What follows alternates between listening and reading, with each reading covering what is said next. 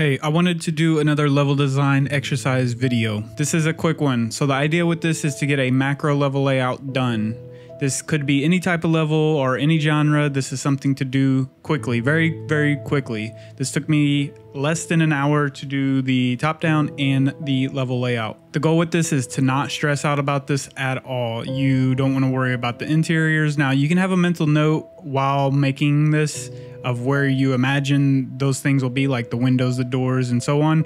But you do not want to get into those details just yet you want to worry about the macro shape of this level. I also want to say when I do this, this is not for a portfolio piece. This isn't really even anything to share. You can if you want. This is a low level way of practicing the tools and to do something informal. So to kind of break the mold of having this structural plan of I need to do a top down, I need to do a, a flow map, I need to do this, this. This is just to stay loose. In my opinion, the best things that I've ever made professionally has been when I just jumped straight into the editor and started making.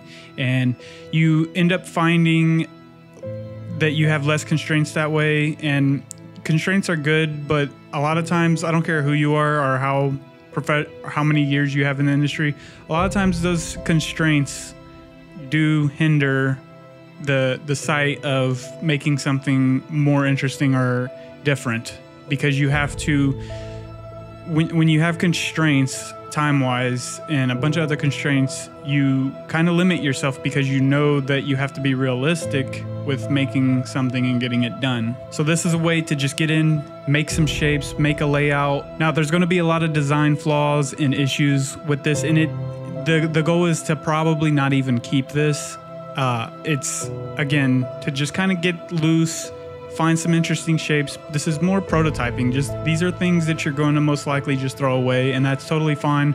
That's the best part about design is just finding something that is interesting. You can make something really quick like this, and it's really rough and ugly.